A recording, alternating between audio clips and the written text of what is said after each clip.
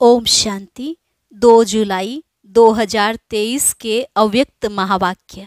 Revise date 26 जनवरी 1995 पहले एक नज़र मुरली के मुख्य पॉइंट्स पर। बाप दादा ने कहा, स्नेही तो सभी बच्चे हैं, लेकिन शक्तिशाली यथाशक्ति हैं। शक्तिशाली समान बच्चों को सदा सहज विजयी भव का रिटर्न मिलता है। लेकिन स्नेही बच्चे यथाशक्तिशाली होने के कारण सदा सहज विजय का अनुभव नहीं कर पाते। स्नेही आत्माएँ सहयोगी ज़रूर होती हैं, इसलिए सहयोग के रिटर्न में बाप दादा भी सहयोग देते हैं। लेकिन योग यथार्थ न होने कारण सहयोग मिलते हुए भी प्राप्ति का अनुभव नहीं कर पाते। फिर बाबा ने ब्रह्मा बाप समान बनने के लिए विशेष दो कदम सुनाए। फरमान बरदार और वफादार। बाबा ने कहा, बाप का फरमान है सदा सर्व खजानों के वर्षे में संपन्न बनना और बनाना। जैसे ब्रह्मा बाप ने चाहे रात हो, चाहे दिन हो, सेवा का डायरेक्शन मिला और प्रैक्टिकल किया और कर्म में सदा हांजी किया लास्ट दिन भी समय संकल्प बच्चों प्रति लगाया। ज्ञान का खजाना, याद की शक्ति और सहनशीलता के गुण का स्वरूप। ये सब खजाने लास्ट समय तक शरीर को भी भूल, सेवा में प्रैक्टिकल लगाकर दिखाया। तो इसको कहा जाता है फरमान बरदार नंबर वन बच्चा। चेक करो क्या आपने भी आदि से अब तक सर्व खजानों को स्व के साथ साथ सेवा में लगाया है। और लास्ट में बाबा ने कहा ब्रह्मा बाप समान ही वफादार बनो। कभी भी मन से, बुद्धि से, संकल्प से बाप के साथ बेवफा नहीं बनना। वफादार का अर्थ है, सदा एक बाप, दूसरा न कोई। संकल्प में भी कोई व्यक्ति या वस्तु आकर्षित नहीं करे। और अब सुनते हैं महावाक्यों को विस्तार से। मुरली का सार, ब्रह्मा बाप के और दो कदम। फरमान बरदार वफादार। आज बाप दादा चारों ओर के स्नेही और सहयोगी बच्चों को और शक्तिशाली समान बच्चों को देख रहे हैं। स्नेही सभी बच्चे हैं, लेकिन शक्तिशाली यथाशक्ति हैं।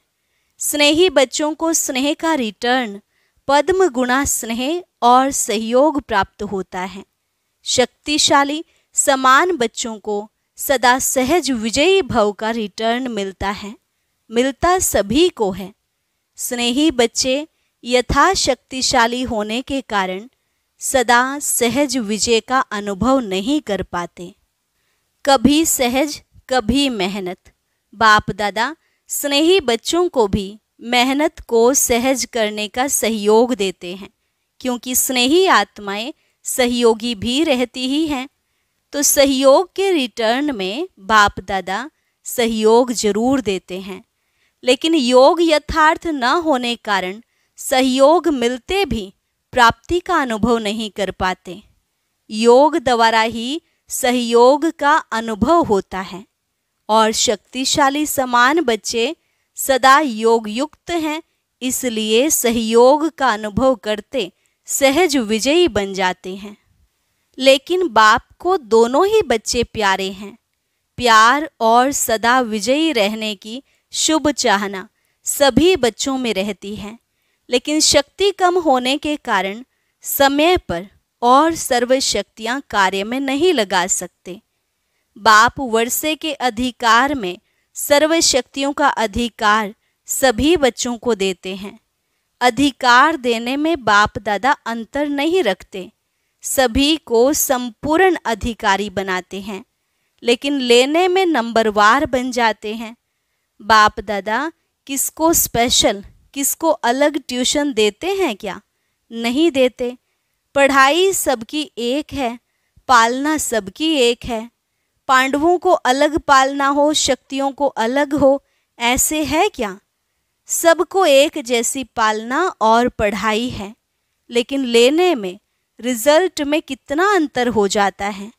कहाँ अष्ट रत्न और कहाँ सोलह हज़ार एक सौ आठ रत्न? कितना अंतर है? यह अंतर क्यों हुआ?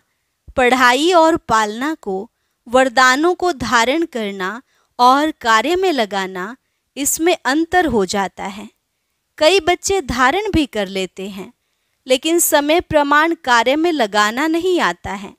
बुद्धि तक बहुत भरपूर होंगे, लेकिन कर्म में आने में फ़र्क पड़ जाता है। ब्रह्मा बाप नंबर वन क्यों बना? दो कदम पहले सुनाए ना, तीसरा, सदा बाप, शिक्षक और सदगुरु के फरमान बरदार बने। हर फरमान को जी हाजिर किया।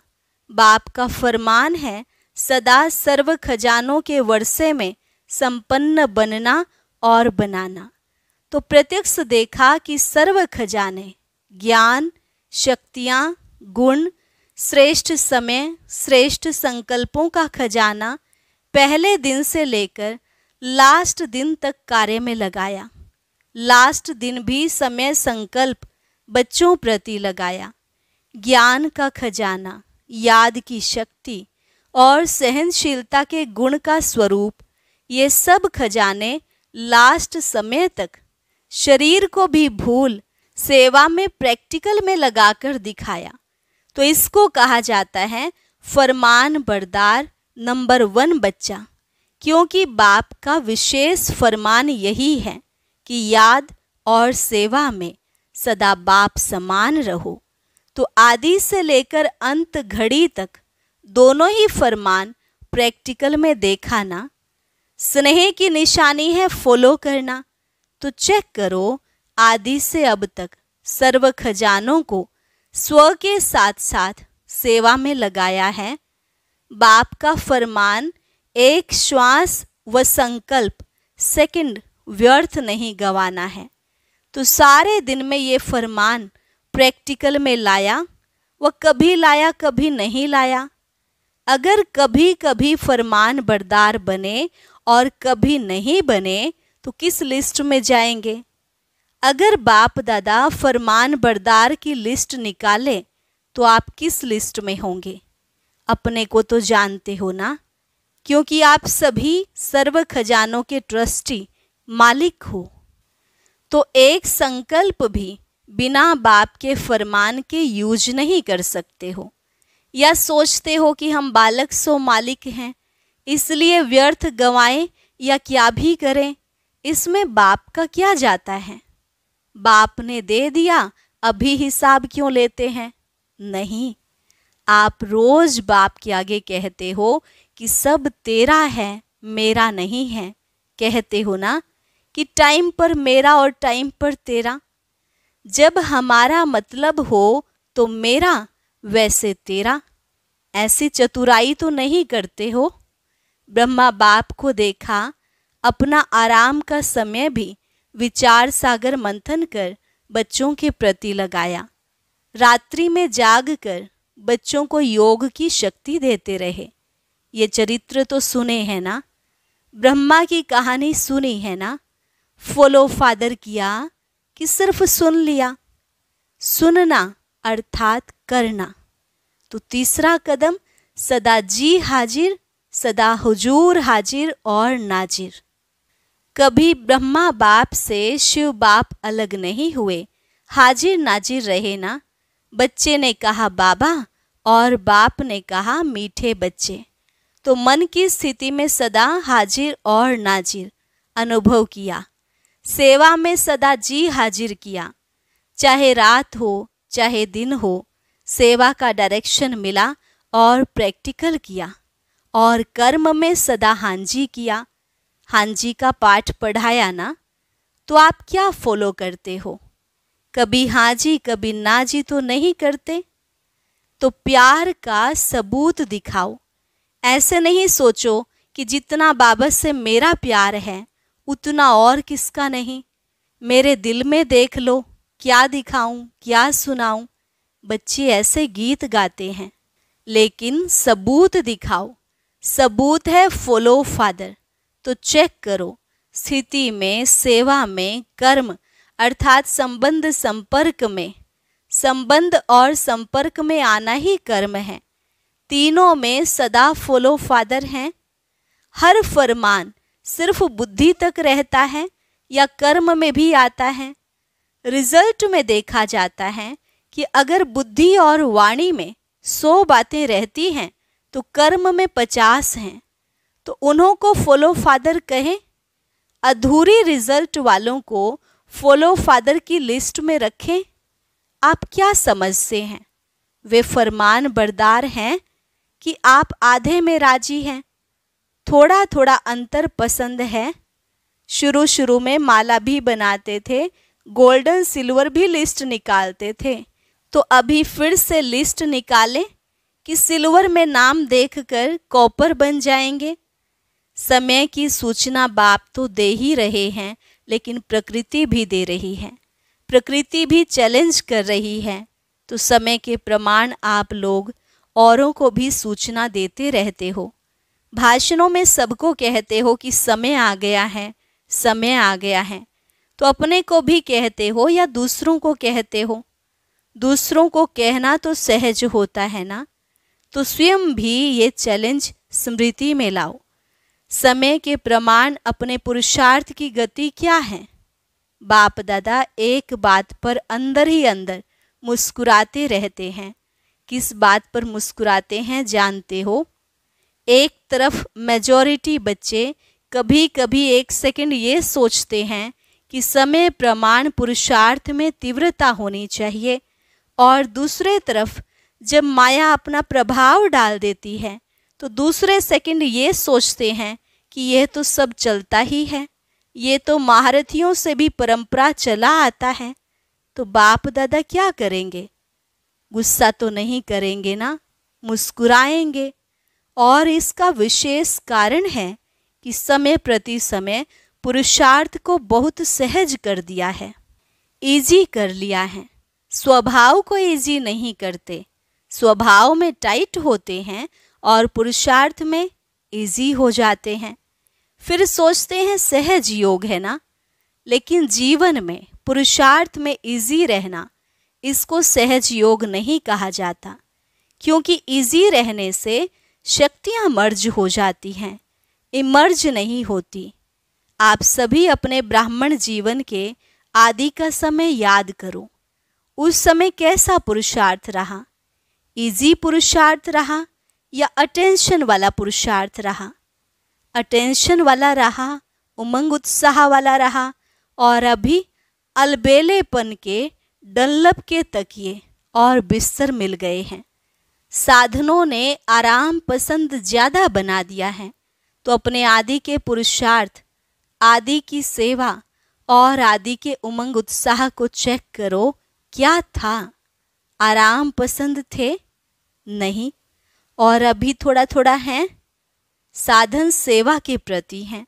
साधन स्वयं को आराम पसंद बनाने के लिए नहीं है। तो अभी डनलप का तकिया और बिस्तरा निकालो। पटरानियाँ बनो, पटराने बनो।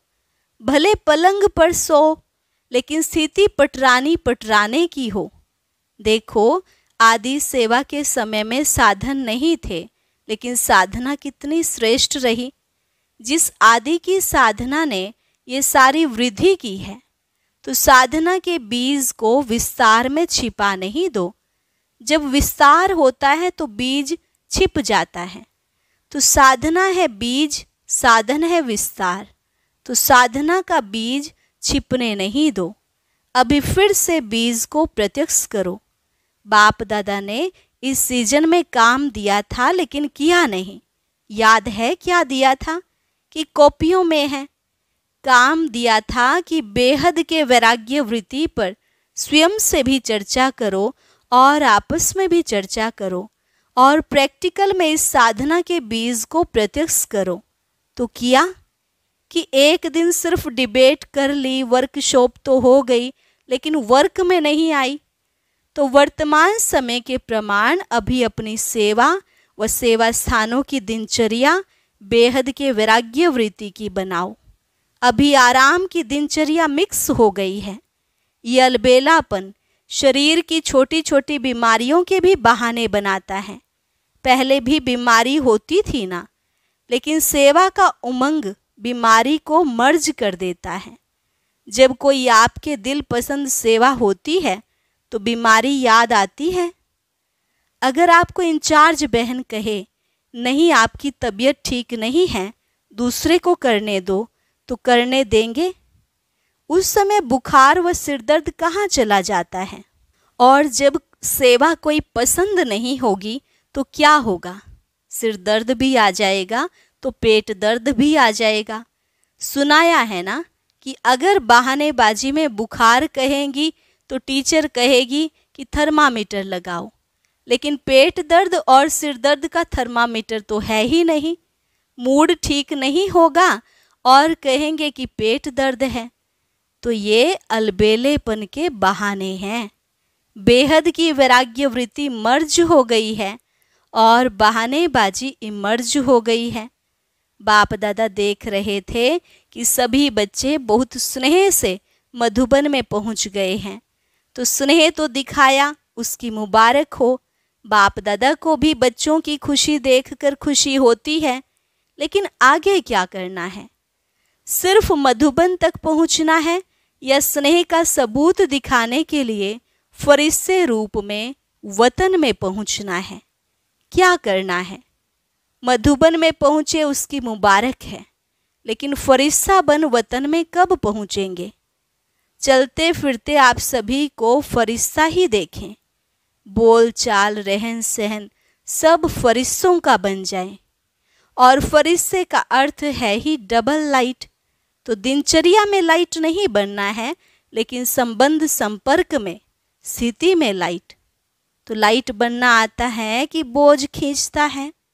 बाप दादा स्नेह का सबूत देखना चाहते हैं, और जब स्नेह का सबूत देंगे तो आपको तालियाँ बजाने की ज़रूरत नहीं पड़ेगी, लेकिन माया भी ताली बजाएगी।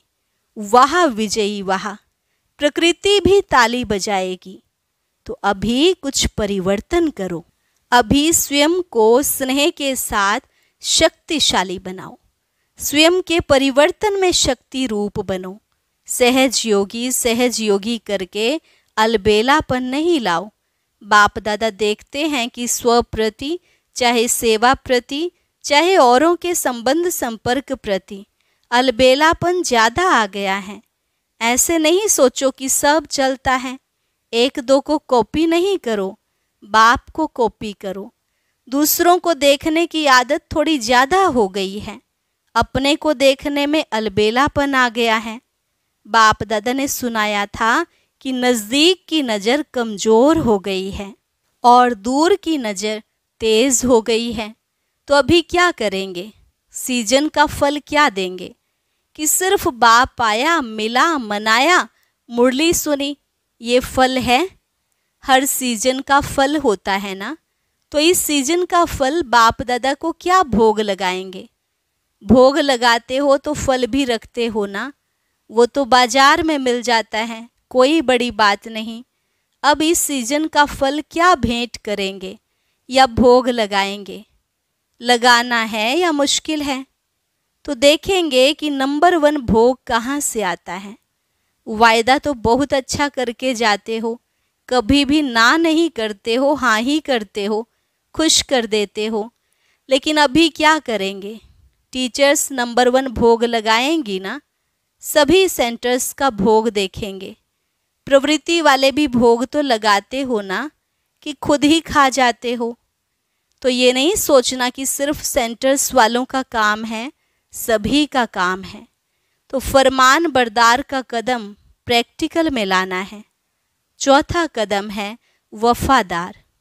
कभी भी मन से, बुद्धि से, संकल्प से बाप के बेवफा नहीं बनना।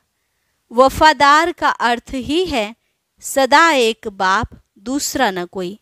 संकल्प में भी देह देह के संबंध, देह के पदार्थ व देहधारी व्यक्ति आकर्षित नहीं करे। जैसे जब पति पत्नी एक दो के वफादार बनते हैं तो स्वप्न में भी अगर पर दूसरे की याद आ गई तो वफादार नहीं कहा जाता। तो ब्रह्मा बाप को देखा, संकल्प भी दूसरे के तरफ़ नहीं। एक बाप सब कुछ है, इसको कहा जाता है वफादार। अगर पदार्थ की भी आकर्षण है, साधनों की भी आकर्षण है तो साधना खंडित हो जाती है। वफादारी खंडित हो जाती है और खंडित कभी भी संपन्न पूज्य नहीं गाया जाता है। तो चेक करो कि संकल्प में भी कोई आकर्षण बेवफा तो नहीं बना देती। अगर जरा भी किसी के प्रति विशेष झुकाव है, थोड़ा भी पर्सनल झुकाव है, चाहे गुण के ऊपर, चाहे सेवा के ऊपर, चाहे अच्छे संस्कारों के ऊपर भी, अगर एक्स्ट्रा प्रभावित हैं तो वफादार नहीं कहा जाएगा। सबकी विशेषता, बेहद की विशेषता पर आकर्षित है। वो दूसरी बात है, लेकिन किसी विशेष व्यक्ति या वैभव के ऊपर आकर्षित हैं तो वफादार की लिस्ट में खंडित गाया जाएगा। तो चेक करो कि खंडित मूर्ति तो नहीं है, पूज्य है, कहाँ एक्स्ट्रा लगाव व झुकाव तो नहीं है, संकल्प मात्र भी झुकाव नहीं।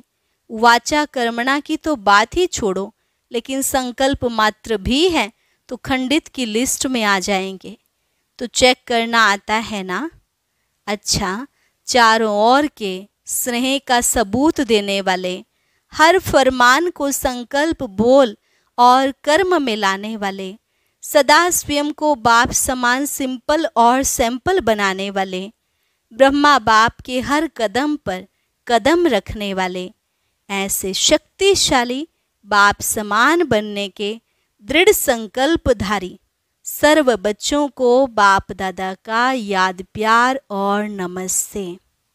रूहानी बच्चों की रूहानी बाप दादा को नमस्ते नमस्ते, गुड मॉर्निंग। वरदान, साक्षीपन की स्थिति द्वारा हीरो पार्ट बजाने वाले सहज पुरुषार्थी भव। साक्षीपन की स्थिति द्वारा हीरो पार्ट बजाने वाले सहज पुरुषार्थी भव। साक्षीपन की स्थिति ड्रामा के अंदर हीरो पार्ट बजाने में सहयोगी बनती है। अगर साक्षीपन नहीं तो हीरो पार्ट बजा नहीं सकते।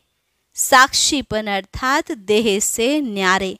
आत्मा मालिकपन की स्टेज पर स्थित रहे। देह से भी साक्षी, मालिक। इस देह से कर्म कराने वाली ऐसी साक्षी स्थिति ही सहज पुरुषार्थ का अनुभव कराती है।